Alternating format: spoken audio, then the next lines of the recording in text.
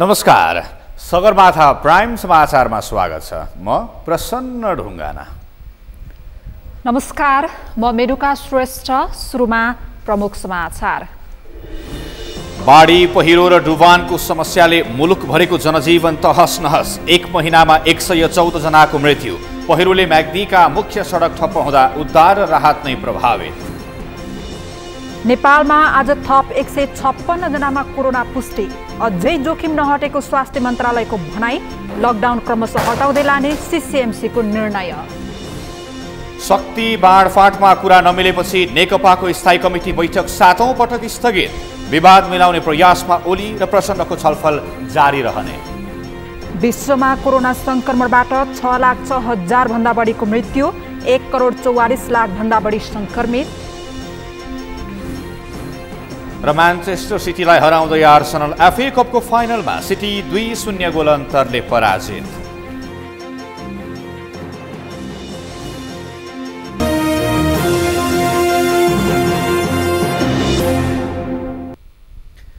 Sagarmatha prime समाचार अब विस्तारमा। कृषिमा निर्भर नेपालका लागि मनसुन जति मात्रामा वरदान ठानिन्छ यसबाट हुने क्षतिका आधारमा उत्तिकै अभिशाप पनि छ। नेपालमा मनसुन सुरु भएताको एक महिनामा मात्रै एक सय चौधजनाको मृत्यु भएको छ भने उन्साठी जना घाइते तथा उनपचासजना बेपत्ता भएका छन्।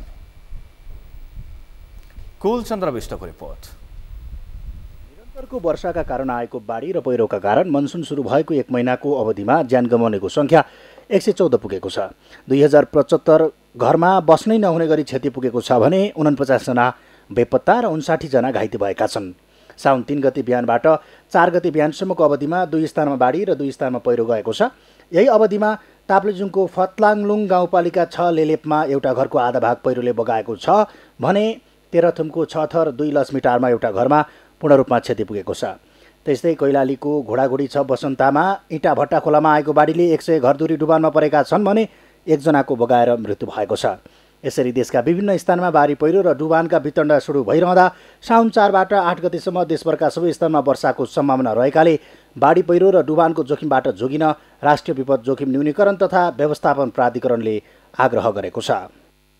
आजसम्मको आज यति बेरसम्मको डेटामा एक सय चौधजनाको मृत्यु भएको छ।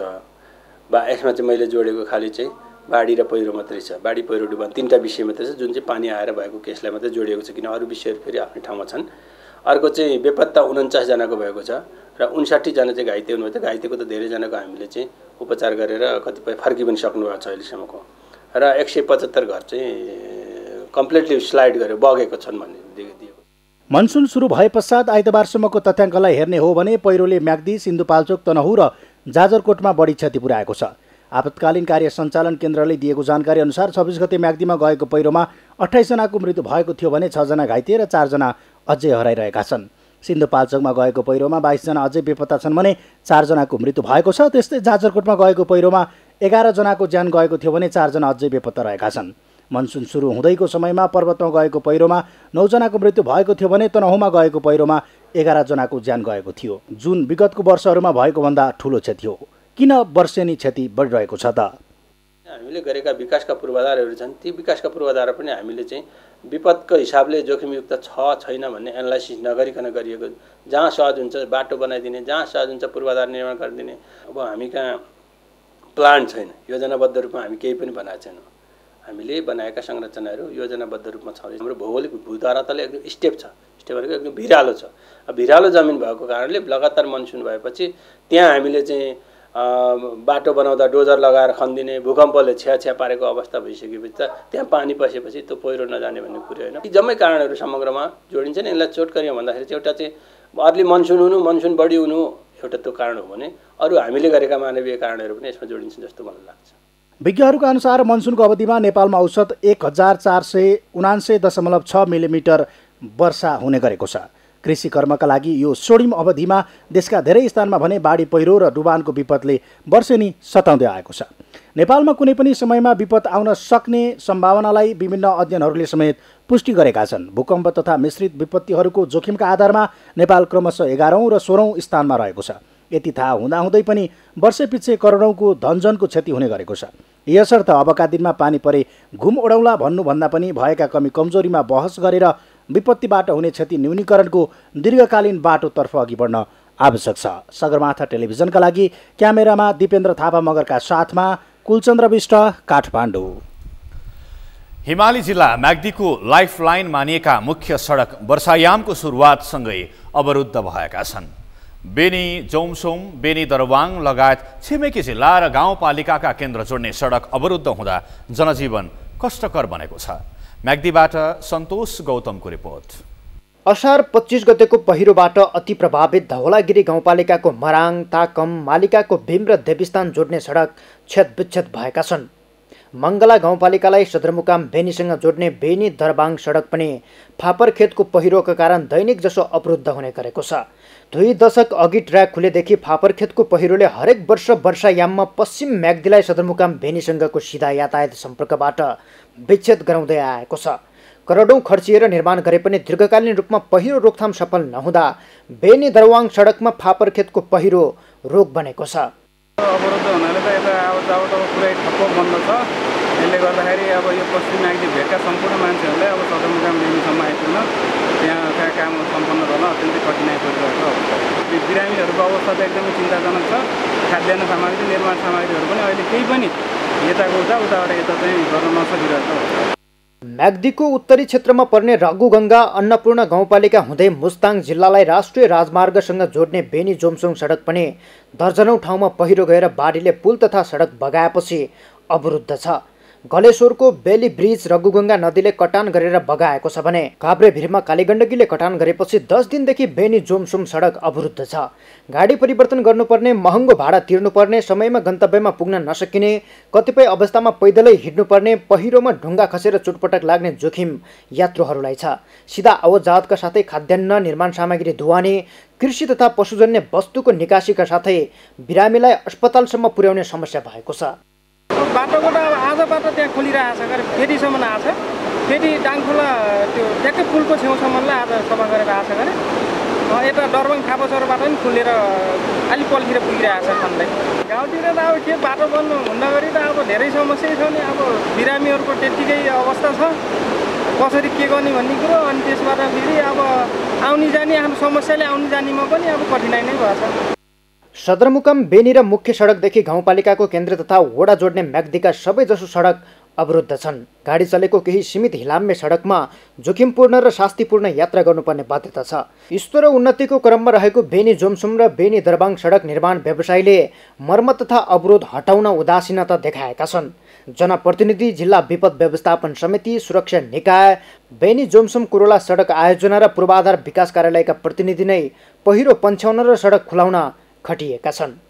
हाम्रै बेनी दरबाङ सडक अन्तर्गत पानी यतापट्टि मौनी भन्ने ठाउँमा सडक डिभिजनबाट बनाइएका जालीहरू खसेर अहिले सडक अवरुद्ध भइरहेको छ। यसमा विपद व्यवस्थापन जिल्ला विपद व्यवस्थापन समिति र पूर्वाधार विकास कार्यालय यसलाई हामीले खोल्ने प्रयास गरिरहेका छौँ। म्याग्दीका मुख्य तथा सहायक सडकका साथै विद्युतीय र सञ्चार सेवामा आएको अवरोधका कारण पहिरोबाट अति प्रभावित क्षेत्रमा राहत तथा पीडितको व्यवस्थापनमा कठिनाइ भएको छ। बिरामीलाई अस्पताल पुर्याउन र राहत सामग्री दुवानी गर्न महँगो रकम खर्चेर हेलिकप्टर प्रयोग गर्नु परेको छ। सगरमाथा टेलिभिजनका लागि म्याग्दीबाट सन्तोष गौतमको रिपोर्ट। आज थप एक सय छप्पन्नजनामा कोरोना सङ्क्रमण पुष्टि भएको छ। यो सँगै नेपालमा सङ्क्रमितको सङ्ख्या सत्र हजार छ सय अन्ठाउन्न पुगेको छ। यस्तै आज अन्ठाउन्नजना कोरोना सङ्क्रमण मुक्त भएर घर फर्किएका छन्। यो सँगै निको भएर घर फर्किनेको सङ्ख्या एघार हजार छ सय पन्चानब्बे पुगेको छ। केशव शर्माको रिपोर्ट। आइतबार अन्ठाउन्नजना कोरोना भाइरस सङ्क्रमण मुक्त भएका छन्। यो सँगै निको हुनेको सङ्ख्या एघार हजार छ सय पन्चानब्बे पुगेको छ। यस्तै आइतबार थप एक सय छप्पन्नजनामा कोरोना सङ्क्रमण पुष्टि भएको छ।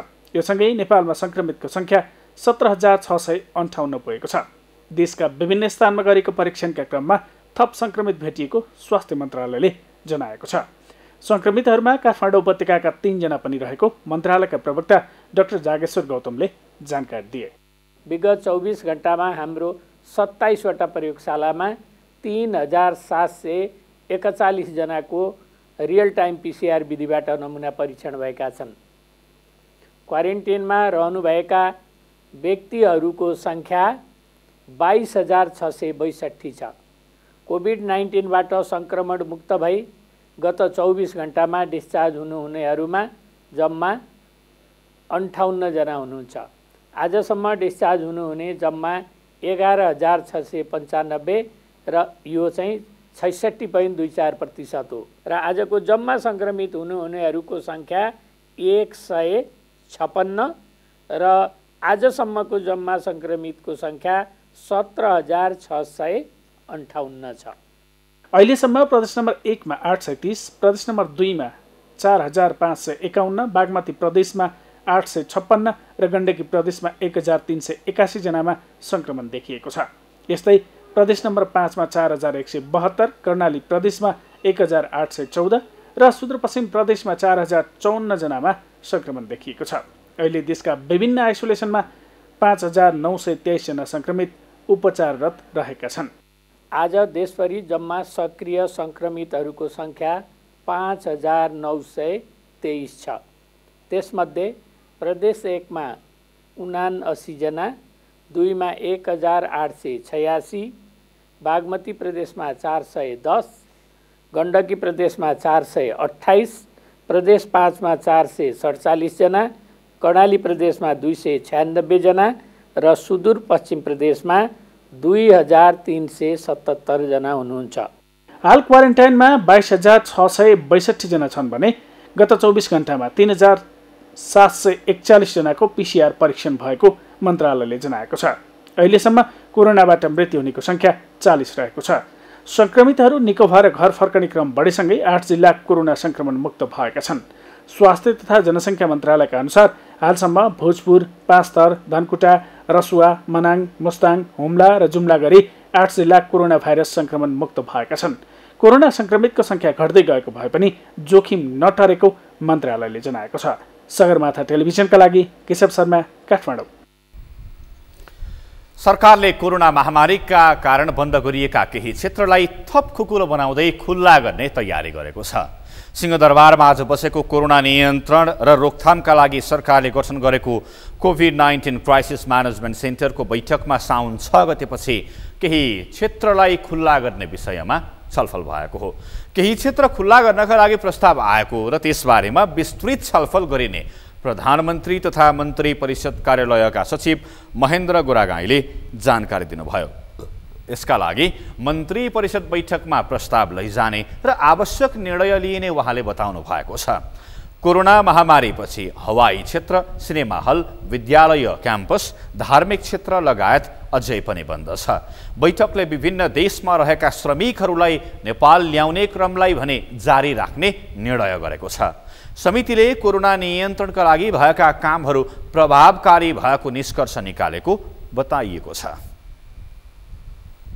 जुन कायम भएको निर्णय छ नेपाल सरकारको निर्णय छ ती निर्णयलाई परिमार्जन गर्न के कस्तो क्रियाकलापहरू गर्न सकिन्छ अथवा यसलाई कसरी लानुपर्छ भन्ने विषयमा फेरि छलफल गरेर नेपाल सरकार मन्त्री परिषदमा सम्बन्धित लाइन मिनिस्ट्रीबाट प्रस्ताव लैजाने गरी निर्णय भएको छ। थप निर्णय आज भएको छैन।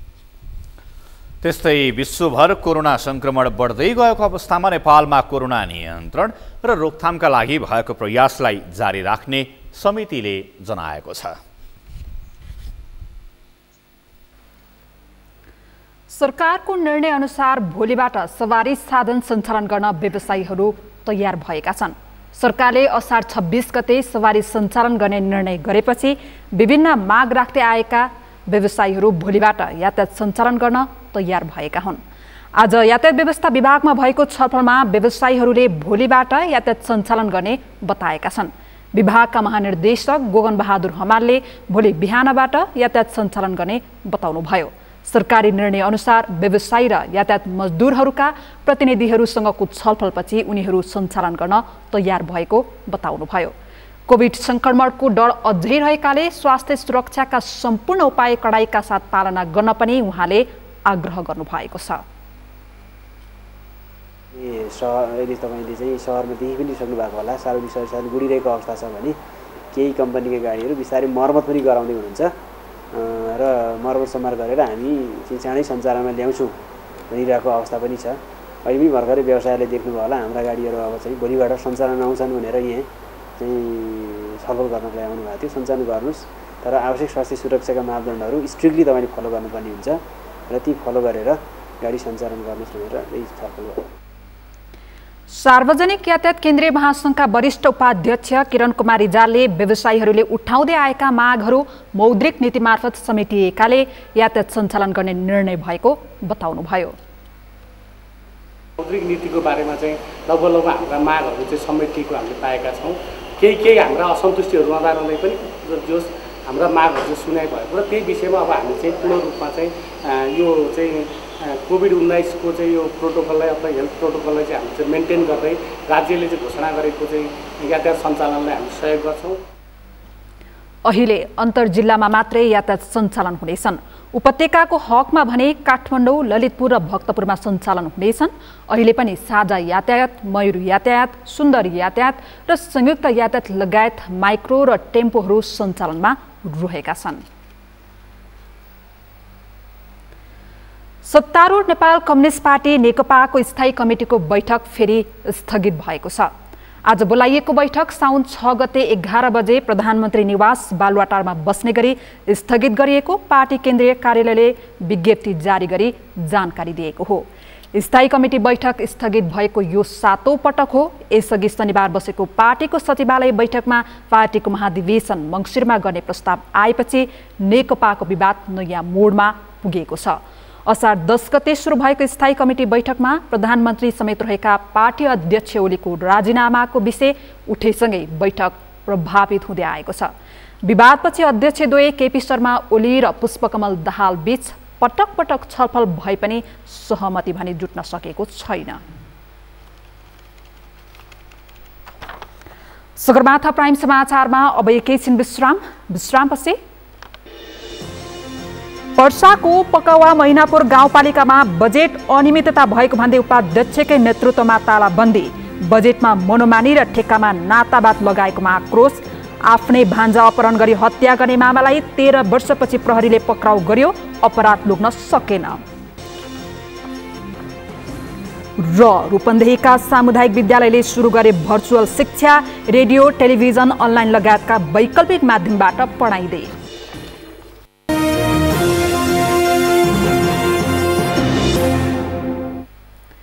विश्रामपछि सगरमाथा प्राइम समाचारमा स्वागत छ। अब बाँकी समाचार। प्रतिनिधि सभाको विकास तथा प्रविधि समितिले देशभरका रणनीतिक सडक अन्तर्गत रुग्ण पुलहरूको कार्ययोजना तयार गरी निर्माण सुरु गर्न नेपाल सरकारलाई निर्देशन दिएको छ। विभिन्न निर्माणाधीन पुलहरूको सन्दर्भमा छलफल गर्न बसेको समितिको बैठकले देशभर रहेका पुराना एवं रुग्ण पुलहरूको अवस्थाको विवरण तयार गरी कार्ययोजना सहित निर्माण प्रक्रिया सुरु गर्न भौतिक पूर्वाधार तथा यातायात मन्त्रालयलाई निर्देशन दिएको हो। रणनीतिक सडक अन्तर्गत रहेका पुराना एवं रुग्ण पुलहरूको अवस्था सम्बन्धी विवरण तयार गरी गुणस्तरीय रूपमा तोकिएको समयभित्र निर्माण सम्पन्न गर्न त्यसको वित्तीय सुनिश्चितता कायम गरी चालु अब आब त्यस्ता आबमा त्यस्ता पुलहरूको निर्माण गर्ने कार्ययोजनासहित प्रक्रिया आरम्भ गर्न समिति नेपाल सरकार भौतिक पूर्वाधार तथा यातायात मन्त्रालयलाई निर्देशन गर्दछ। समितिले भौतिक पूर्वाधार तथा यातायात मन्त्रालयमा प्राविधिक जनशक्ति अभावका कारण विकास र पूर्वाधारका कामहरूमा असर परेको भन्दै पदपूर्तिको व्यवस्था मिलाउन अर्थ मन्त्रालय र सङ्घीय मामिला तथा सामान्य प्रशासन मन्त्रालयलाई निर्देशन दिएको छ। भौतिक पूर्वाधार तथा यातायात मन्त्रालयले जनशक्ति परिपूर्ति गर्न तयार पारेको ओएनएम रिपोर्ट स्वीकृत गरी मन्त्रालयको कामकाजमा सहजता ल्याउने वातावरण निर्माण गर्न निर्देशन दिएको सभापति खड्काले बताउनुभयो।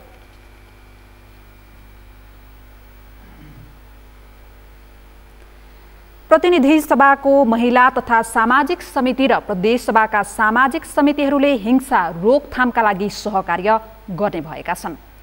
सामाजिक र सांस्कृतिक कुरीतिहरूका कारण महिलामाथि हुने हिंसा बढिरहेको अवस्थामा समितिहरूले सहकार्य गरेर काम गर्ने भएका हुन्। आज महिला शान्ति र सुरक्षाका विषयमा भएको भर्चुअल छलफलमा सभ्य समाजका लागि भौतिक पूर्वाधार विकास र सामाजिक क्षेत्रको विकासमा समेत साझा धारणा बनाएर अगाडि बढ्ने निर्णय भएको छ।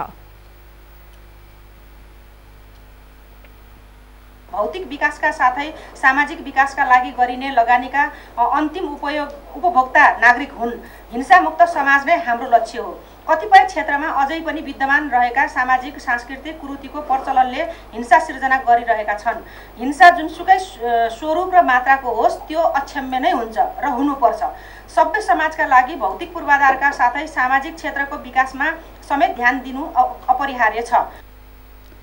समितिले शान्ति र सुरक्षाका विषय मापन गर्न कठिन भए पनि उल्लेखित विषयमा विकास भएका सूचकहरूको प्रयोग गरी विद्यमान अवस्थामा मापन गर्न महिला बालबालिका तथा ज्येष्ठ नागरिक मन्त्रालयलाई निर्देशन दिएको छ। त्यसको परिणाम लिखित रूपमा समितिमा पेश गर्न पनि समितिले निर्देशन दिएको छ। वर्षाको पकाहा मैनपुर गाउँपालिकामा जनप्रतिनिधिकै अगुवाईमा स्थानीयवासीले तालाबन्दी गरेका छन्। गाउँपालिकाका उपाध्यक्ष कुस्मी देवीको नेतृत्वमा स्थानीयले गाउँपालिकाको कार्यालयमा तालाबन्दी गरेका हुन्। तेह्र वर्ष अघि सहोदर भान्जाको अपहरणपछि हत्या गरेका अभियुक्तलाई प्रहरीले सार्वजनिक गरेको छ। एघार वर्षीय रोहित गुप्ताको अपहरणपछि हत्या गरी फरार रहेका पैँतालिस वर्षीय राजेश कुमार गुप्तालाई महानगरी अपराध महाशाखा काठमाडौँले आज हिजो सर्लाहीको मलङ्गाबाट पक्राउ गरेको हो। पक्राउ गरेका अभियुक्त भारतीय नागरिक हुन् सन्तोष बिके थापाको रिपोर्ट। दुई हजार चौसठी साल असोज महिनाको चौबिस गते जोरपाटे स्थित राई स्कुलको कक्षा सातमा अध्ययनरत एघार वर्षीय बालक रोहित गुप्ता अपहरणमा परे। अपहरण पश्चात उनका बाबु वासुदेव गुप्तासँग अपरिचित व्यक्तिले फोन गरी दुई लाख पचास हजार फिरौती मागे। फिरौती पाए मात्रै छाड्ने आश्वासन दिएका अपहरणकारीले बालकलाई छाडेनन्। तिन दिनपछि कमलादै स्थित फोहोर फाल्ने स्थानमा प्लास्टिकले प्याक गरेको अवस्थामा शव भेटियो। घटना भएको तेह्र वर्ष बितिसक्दा समेत पहिचान नभएका अभियुक्तलाई महानगरीय अपराध महाशाखाको टोलीले शनिबार सर्लाहीको मलङ्ग वा आठ गोरखकालीबाट पक्राउ गरी आइतबार सार्वजनिक गरेको हो। आफ्नै मामाले भान्जालाई अपहरण गरेको र त्यसपछि मारेर फालेको थियो। तिन दिनपछि चाहिँ लास फेला परेको र त्यसमा फिरौती पनि लिएको अवस्था थियो। त्यसमा संलग्न रहेका मामा मुख्य अभियुक्त हाम्रो अपराध महाशाखाको टिमले अहिले पक्राउ गर्न सफल भएको छ। अनुसन्धानका क्रममा बालकको अपहरणपछिको हत्या उनकै सहोदर मामा पैँतालिस वर्षीय राजेश कुमार गुप्ताको योजनामा भएको खुलेको छ। भारतको मुजफ्फापुर नगर थाना आखडाघाट घर भएका उनी काठमाडौँमा व्यापार गर्दै आएका थिए। बालकलाई जादु सिकाउने बाहनामा अपहरण गर्दा धादिङका विष्णु सुनवार समेतको संलग्नता रहेको प्रहरीले जनाएको छ। अझ अपहरण पश्चात फिरौती रकम बुझाउन समेत उनै अभियुक्त राजेश कुमार गुप्ता पुगेको खुलेको छ। पीडित पक्षहरूबाट अलिकति अभियुक्तहरू हत्या गर्ने व्यक्तिहरू पक्राउको लागि चाहिँ केही प्रोटेस्ट पनि हुन्छ। त्यही बिचमा साढे दुई लाख रुपियाँको बार्गेनिङ चाहिँ घरमा चाहिँ गरेको हुन्छ त्यो मामाले। साढे दुई लाख रुपियाँ बार्गेनिङ भइसके पछाडि दुई लाख रुपियाँ आफ्नै भान्जा अपलाई अपहरण गरेर मारिसके पश्चात चाहिँ उसले बुझेर त्यसपछि एउटा नाटक त्यहाँ चाहिँ मञ्चन हुन्छ। नाटक मञ्चन हुँदै गएपछि त्रिभुवन पार्कमा लगेर दुई लाख रुपियाँ दियो अपरिचितले आएर लिएर गयो भन्ने अवस्था रहन्छ। मृतक बालकको शव व्यवस्थापनपछि छठ मान्ने बाहनामा भारत गएका उनी उतै बसेको र घटनामा संलग्न धादिङका विष्णु सुनवारलाई प्रहरीले दुई हजार चौसठी सालकै मङ्सिर बाह्र गते पक्राउ गरी कारागार चलान गरेको थियो। उनकै बयानका आधारमा गुप्ताको खोजी कार्य गर्दै प्रहरीले तेह्र वर्षपछि पक्राउ गरेको हो। तर खुल्ला सिमानाको भरपुर प्रयोग गर्दै आपराधिक तथा अवैध क्रियाकलाप बढिरहेका बेला राज्यका संरचनाले त्यसको उचित निगरानी अझै पनि गर्न सकेका छैनन्। फलस्वरूप नेपालमा आपराधिक क्रियाकलापमा संलग्न हुने र भारतमा लुक्ने परम्परा मौलाउँदै गएको छ। सगरमाथा टेलिभिजनका लागि क्यामेरामा दिपेन्द्र थापाका साथमा सन्तोष बेके थापा काठमाडौँ। कोरोना भाइरसको सङ्क्रमण नियन्त्रणका लागि घोषणा गरिएको लकडाउनका कारण बन्द रहेका रूपन्देहीका विद्यालयहरूले वैकल्पिक पद्धतिबाट पठन पाठन सञ्चालन गरिरहेका छन्। निजी विद्यालयहरूले बन्द गरे पनि सामुदायिक विद्यालयहरूले भने रेडियो टेलिभिजन अनलाइन लगायतका विभिन्न वैकल्पिक माध्यमबाट निरन्तर पढाइ सञ्चालन गरिरहेका छन्। लामो समय विद्यालय बन्द हुँदा शिक्षक र विद्यार्थीहरूमा निराशा बढ्ने भएकोले घरमै बसेर भए पनि अध्ययन अध्यापन गर्ने बानी बसाल्न प्रविधिको प्रयोग गरेको सामुदायिक विद्यालयका सञ्चालकहरूको भनाइ छ। रूपन्देहीबाट मिना ढकालको रिपोर्ट। कोरोना भाइरस कोभिड नाइन्टिनको सन्तासका कारण लामो अवधिसम्म लकडाउन जारी रहँदा विद्यालय सञ्चालन गर्न र शिक्षक तथा विद्यार्थीहरू विद्यालय जान सक्ने वातावरण अझै बनिसकेको छैन। पठन पाठन ठप्प हुँदा हजारौँ विद्यार्थीदेखि शिक्षकसम्म निराश भएका छन्।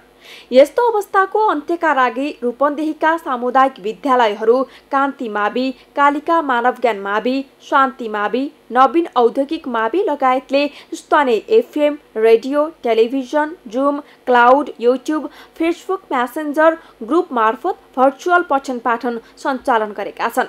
प्रविधिबाट वञ्चित रहेका बालबालिकालाई घर घरमै पुस्तक उपलब्ध गराएर अभिभावककै निगरानीमा पठन पाठन गर्ने व्यवस्था मिलाइएको कालिका मानव ज्ञान माविका प्रधानाध्यापक घनश्याम पाठकको भनाइ छ।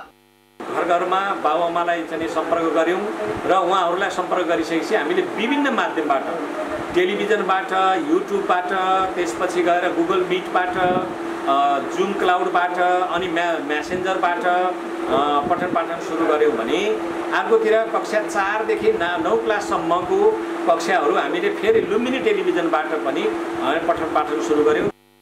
आधुनिक प्रविधिको प्रयोग गरेर घरमै अध्ययन गर्ने विद्यार्थीहरूलाई शिक्षकले अनलाइन मार्फत गृह कार्य दिने तथा अनलाइन मार्फत नै चेक जाँच गर्ने व्यवस्था मिलाइएको छ। विद्यालयहरू बन्द रहेका भए पनि विद्यार्थी र शिक्षकहरूलाई जोड्न विभिन्न प्रविधिको प्रयोग मार्फत अध्ययन अध्यापन गराउने कार्य भइरहेको र प्रविधिको पहुँचभन्दा टाढा रहेका विद्यार्थीहरूलाई घर घरमै पाठ्य पुस्तक पुर्याउने व्यवस्था मिलाइएको प्रदेश सरकारका सामाजिक विकास मन्त्री सुदर्शन बरालले बताएका छन्। विद्यार्थीहरूको हातमा पाठ्य पुस्तक पुर्याउन पुर्याउने अभियान सञ्चालन गरेका छौँ धेरै सम्म चाहिँ विद्यार्थीहरूको हातमा पाठ्य पुस्तक भइसकेको छ। अब चाहिँ कोभिडलाई बिस्तारै नियन्त्रण गर्दै गइसकेपछि विद्यालय कसरी सञ्चालन गर्न सकिन्छ भनेर हामी स्टडी गर्दैछौँ। झन्डै चार महिनासम्म बन्द रहेका विद्यालयले एक महिना अघिदेखि विद्यार्थीहरूलाई अधिकतम ज्ञान बढ्ने गरी भर्चुअल कक्षा सञ्चालन गरिरहेका छन्।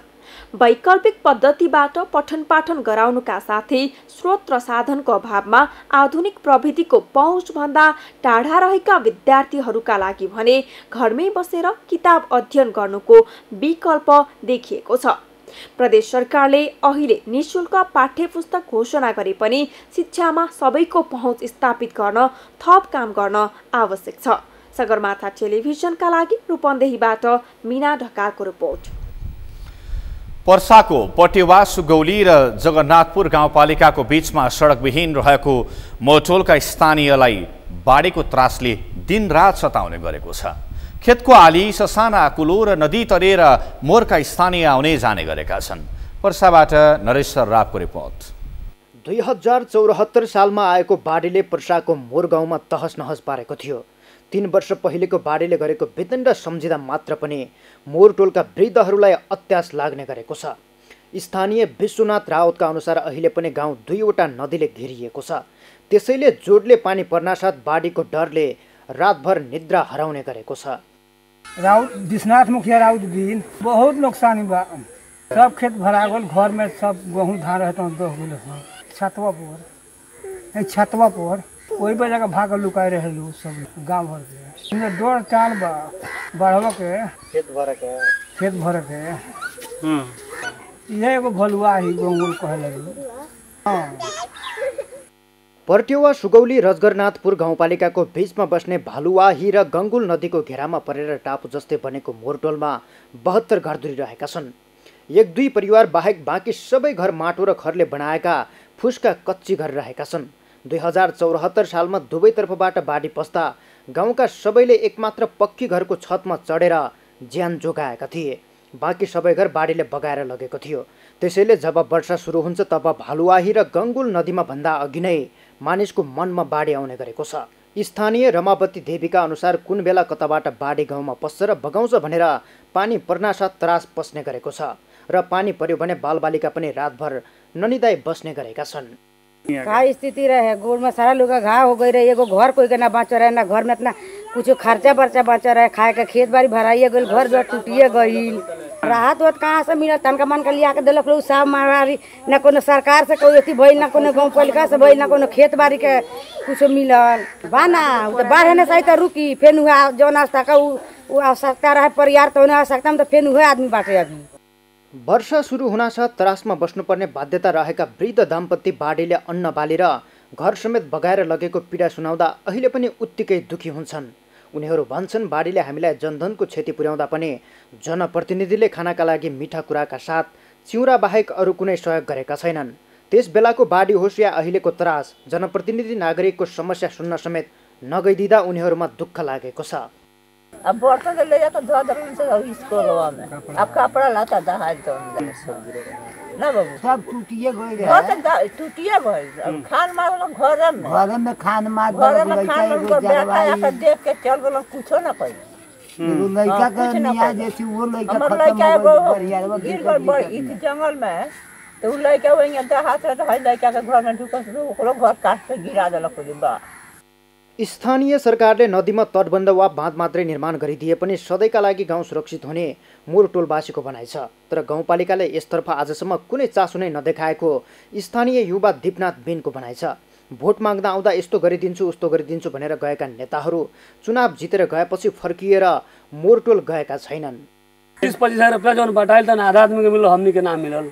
तन आधा आदमी के के ना के नाम। के मेयर साहब गइलन काठमांडू तले। बोलो मिली मिली मिली। तो बहुत उनका से पैरवी कहनी सन तो बोलो वो एडीओ साहब नहीं थी तो सीडीओ साहब नहीं थी करते करते अब हमनी के हार के बन गई इनमें कह रहे हैं पैंतीस गो की छत्तीस गो के हो? पैंतीस गो की छत्तीस गो मिला जमा पंद्रह आदमी के मिला सत्रह आदमी के सहित बाकी रह गए दुई हजार चौरात्तर सालको बाढीले घरबार गुमाएका मोरटोलवासी तीन वर्ष बितिसक्दा पनि चौवन्न सरकारका तर्फबाट पाउनुपर्ने राहत पाउन सकेका छैनन्। सरकारले जिल्ला विपद व्यवस्थापन समिति मार्फत प्रति परिवार पच्चिस हजार रुपियाँ नगद उपलब्ध गराउने निर्णय गरे पनि बहत्तर परिवारमध्ये अठार परिवारलाई मात्र राहत बाँडिएको छ। बाँकी चौवन्न परिवारलाई भने राज्यबाट सौतेलो व्यवहार भएको स्थानीयको गुनासो छ। सरकारले दिने भनेको राहत नपाउँदा जुलुससहित गएर गाउँपालिका ताल्चा समेत मारिएको थियो तर अहिलेसम्म राहत नपाउँदा स्थानीयले सरकारबाट आश मारेका छन्। कुछ नहीं के मिलल। सब जहाँ तहाँ से लोग दिलक तो खैनी सन। पच्चीस हजार रुपया ना मिलल। आ ई लॉकडाउन बा कोरोना पकड़ल ले पाँच किलो चाउर तक ले ना मिलल। सारा लोग ए, मेयर लोग आउरी लोग के बटलक लो आउरी लोग के ना बटलक लो। चाउर हमनी के मिलबे ना कोई परे आदमी के लगभग मिलल के ना मिलल। दुई हजार चौरात्तर साउनको विनाशकारी बाढीले पर्सा जिल्लामै सबैभन्दा बढी क्षति मोर गाउँमा पुर्याएको थियो। यसपटक पनि असार दोस्रो सातादेखि मनसुन सक्रिय भई निरन्तर वर्षा भइरहेका कारण भालुवाही र गङ्गोल नदीमा पानीको सतह बढेको छ। अहिलेसम्म क्षति नभए पनि मोरटोलवासी सधैँ त्रासमा जीवन काटिरहेका छन्। सगरमाथा टेलिभिजनका लागि पर्साबाट नरेश सर्राफको रिपोर्ट। प्रमुख प्रतिपक्षी दल नेपाली कङ्ग्रेस पार्टीबाट रिक्त रहेको प्रतिनिधि सभा सदस्यमा सुवर्ण ज्वारचनले पद तथा गोपनीयताको शपथ लिनुभएको छ। आज संसद सचिवालयमा सभामुख अग्निप्रसाद सापकोटाले ज्वारचनलाई सांसदको शपथ दिलाउनु भएको हो। सांसद ज्ञानकुमारी छन्त्यालको निधन भएपछि कङ्ग्रेसको तर्फबाट समानुपातिक सांसदको एक पद रिक्त थियो। बागलुङबाट प्रतिनिधित्व गर्ने छन्त्यालको असार सत्र गते निधन भएको थियो। छन्त्यालको निधन भएपछि समानुपातिक सूचीमा ज्वारसन सांसद बन्नु भएको हो। पद तथा गोपनीयताको शपथ लिएपछि सञ्चारकर्मीसँग कुरा गर्दै ज्वारसनले राष्ट्रियताका लागि आफूले आवाज उठाउने बताउनुभयो। नक्सा पास गर्नुभयो सम्पूर्ण जस हुन्छ। तर कालापानी लिपुले लिम्पिया धुरा हामीले सारा चाहिँ फर्काउनु पर्छ हाम्रो भूभाग एउटा चाहिँ दुई जिल्लाभन्दा धेरै हाम्रो भूभाग छ त्यो फर्काउनु पर्यो। उहाँले देशको समस्या समाधानका लागि सबै दलहरू एक हुनुपर्ने बताउनु भएको छ। रुकुम पश्चिमको चौरजहारी नगरपालिकामा बाइसे तथा चौबिसे राज्यका अवशेषहरू लोप हुने अवस्थामा छन्। करिब दुई सय वर्षअघि चौरजहारीको लापुले गाउँमा निर्माण गरिएको ऐतिहासिक ढुङ्गे देवल संरक्षणको अभावमा जीर्ण बन्दै गएको हो। रुकुम पश्चिमबाट मेघराज खड्काको रिपोर्ट। रुकुम पश्चिमको चौरजोहारी नगरपालिका वडा नम्बर तिन लापुते गाउँमा रहेको ढुङ्गै ढुङ्गाले बनाइएको जोहारी कोटे ऐतिहासिक देवल जीर्ण बनेको छ। जगतेश्वरे महाराजको एक अवतारको रूपमा परिचित जोहारी कोटे ढुङ्गे देवल हाल संरक्षणको अभावमा जीर्ण बनेको हो। स्थानीयवासीका अनुसार ढुङ्गे देवल रहेको शिवालय मन्दिरमा प्रत्येक वर्षको शिवरात्रिको दिन पूजापाठ तथा मेला लाग्ने गर्दछ। करिब दुई सय वर्ष अघि ढुङ्गा कुदेर निर्माण गरिएको ढुङ्गे देवल जाजरकोटका राजा दीपनारायण शाहको पहलमा बनाइएको स्थानीयको भनाइ छ। ऐतिहासिक जोहारी कोटे ढुङ्गे देवल वर्षै पछि जीर्ण बन्दै गइरहेकोले अब यसको संरक्षणमा स्थानीय सरकारले ध्यान दिनुपर्ने उनीहरूको भनाइ छ। स्थानीय सरकारले यी सम्पदा यी सम्पदाहरूलाई चाहिँ आर्थिक सहयोग गरेर अथवा आर्थिक लगानी गरेर हुन्छ कसरी हुन्छ यो चाहिँ सम्पदालाई जोगाइराख्नेतर्फ ध्यान दिन जरुरी छ। करिब चार मिटर उचाइ रहेको ढुङ्गे देवल केही वर्ष अघिबाट ढल्किँदै गएको छ। देवल बनाइएको जमिनको केही भाग भाँसिँदै गएकोले बाइसे तथा चौबिसे राज्यको ऐतिहासिक चिनारी अवशेषको रूपमा समेत नरहने गरी हराउने अवस्थामा पुगेको छ।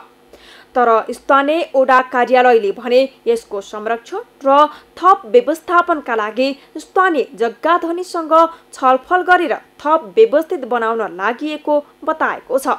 जग्गाधनीहरूलाई अलिअलि जग्गा दिनुपर्छ यसलाई अलिक व्यवस्थित बनाएर लैजानुपर्छ यो एउटा हाम्रो ऐतिहासिक चिज हो भनेर हामीले त्यो काम चाहिँ अगाडि बढाइराखेका छौँ।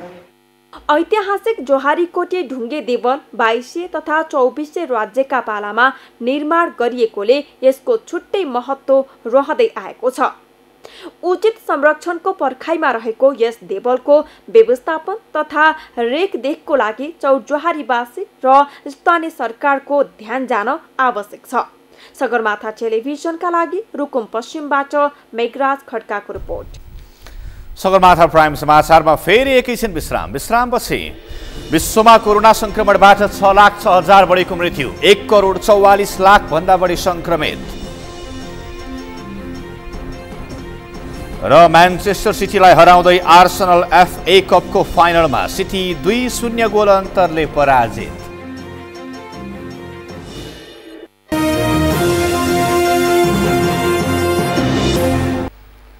अब पालो अर्थ समाचारको। अर्थ समाचारका प्रायोजक। हो आफ्नो विश्वास हो त्रिशक्ति सिमेन्ट। सेयर बजारमा परिसूचक नेप्से छ प्रतिशतले बढ्दा आजका लागि कारोबार स्थगित भएको छ। बजार खुलेको एक घन्टा आठ मिनटमा परिसूचक नेप्से छ दशमलव शून्य चार प्रतिशत अर्थात् आठ चार दशमलव दुई छ अङ्कले बढ्दा तेस्रो पटक सर्किट लागेर कारोबार स्थगित भएको हो। बजार खुलेको छ मिनटमा चार प्रतिशतले नेप्सेमा वृद्धि हुँदा पहिलो सर्किट ब्रेक लागेको थियो। त्यसपछि एघार बजेर सन्ताउन्न मिनटमा खुलेको बजार सडतिस सेकेन्ड कारोबार हुँदा पाँच प्रतिशतले बढेर दोस्रो सर्किट ब्रेक लाग्दा चार चालिस मिनटका लागि कारोबार स्थगित भएको थियो। तेस्रो पटक कारोबार खुलेको केही सेकेन्डमै पुनः छ दशमलव शून्य चार प्रतिशतको वृद्धि हुँदा सेयर कारोबार आजका लागि स्थगित भएको हो। नेप्से परिसूचक एक हजार चार सय उनासी दशमलव शून्य तिन अङ्कमा बन्द भएको छ। सेन्सेटिभ परिसूचक पनि पाँच दशमलव आठ नौ प्रतिशत अर्थात् एक सात दशमलव तिन नौ प्रतिशतले बढेर तिन सय बाह्र दशमलव चार चार अङ्कमा बन्द भएको छ। नेपाल राष्ट्र ब्याङ्कले चालु आर्थिक वर्ष दुई हजार सतहत्तर अठहत्तरका लागि सार्वजनिक गरेको मौद्रिक नीतिले सेयर बजारलाई फाइदा हुने गरी व्यवस्था गरेपछि आज लगानीकर्ता उत्साहित भएका हुन्। जसको असर नेप्से सूचकमा परेको छ बजार खुल्ने बित्तिकै ब्याङ्किङ समूहको सेयरमा लगानीकर्ता जुम्मिएका थिए। त्यसैले ब्याङ्किङ समूह सात दशमलव चार चार प्रतिशतले बढेको छ। जीवन बिमा समूह पनि छ दशमलव छ आठ प्रतिशतले बढेको छ। आज एक सय एघार कम्पनीको छ करोड पच्चिस लाख छैसठी हजार रुपियाँ बराबरको एक लाख अस्सी हजार पाँच सय छयानब्बे किता सेयर खरिद बिक्री भएको छ। यो सँगै हामी सगरमाथा प्राइम समाचारको अन्त्यमा छौँ। अन्त्यमा प्रमुख समाचार फेरि एकपटक बाढी पहिरो र टुफानले मुलुकभरिको जनजीवन तहस नहस एक महिनामा एक सय चौध जनाको मृत्यु। पहिरोले म्याग्दीका मुख्य सडक ठप्प हुँदा उद्धार र राहत नै प्रभावित। नेपालमा आज थप एक सय छप्पन्नजनामा कोरोना पुष्टि। अझै जोखिम नहटेको स्वास्थ्य मन्त्रालयको भनाई लकडाउन क्रमशः हटाउँदै जाने सिसिएमसीको निर्णय। शक्ति बाँडफाँडमा कुरा नमिलेपछि नेकपाको स्थायी कमिटी बैठक सातौँ पटक स्थगित। विवाद मिलाउने प्रयासमा ओली र प्रचण्डको छलफल जारी रहने। विश्वमा कोरोना सङ्क्रमणबाट छ लाख छ हजारभन्दा बढीको मृत्यु एक करोड चौवालिस लाखभन्दा बढी सङ्क्रमित। र म्यान्चेस्टर सिटीलाई हराउँदै आर्सनल एफए कपको फाइनलमा सिटी दुई शून्य गोल अन्तरले पराजित।